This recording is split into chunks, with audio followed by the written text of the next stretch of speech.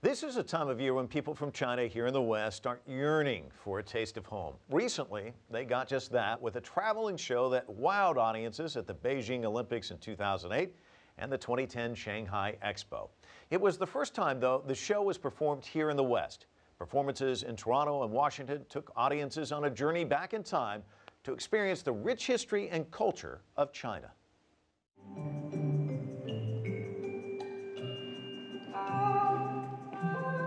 41 dancers from China perform this epic dance drama. This stunning, incredibly graceful spectacle recently wowed audiences at the Kennedy Center in Washington, D.C. But this is more than a dance performance. It's a daunting test, as these dancers must bring to life a painting created hundreds of years ago.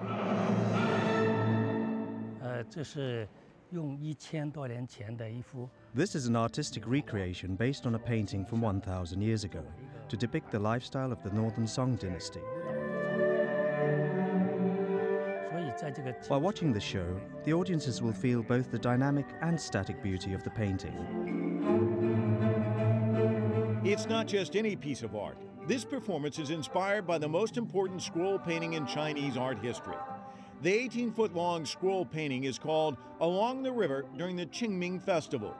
This masterpiece is frequently described as China's Mona Lisa because it is seen as a national treasure. It's now in the collection of the Palace Museum in Beijing. The whole program introduces the elegance of Chinese culture. We deliberately select a period uh, famous for its subdued elegance it's an eye opener. Working on this was an eye opener for Gerald Song. A lover of history, it took him a year of research before he was finally able to create this show. It's performed by two dance companies from China, the Hong Kong Dance Company and the Guangdong Song and Dance Ensemble. The show weaves together the intricate stories of the people of the time. From fishermen to farmers, the common people at the market,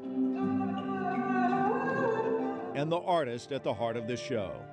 He is the observer, always there, willing to peer through the umbrellas, to capture their lives forever in a work of art that will stand the test of time.